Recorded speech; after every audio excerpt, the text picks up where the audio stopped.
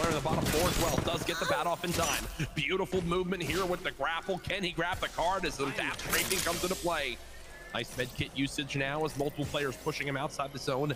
Anything is possible when it's Timmy is on your screen. One player now pushing his right. I mean left. Timmy with the knock on to Sebi. Sebi get out the Khan as another player sneaks up on him. He can't hear him. I'm here. Beautiful shots there. He takes a second. To go will get it off in time. And now with the 1v1 in the zone. Timmy with the spray. Timmy with the shots. He's got armor broken. It's Timmy with the clutch. Can he get the banner in time?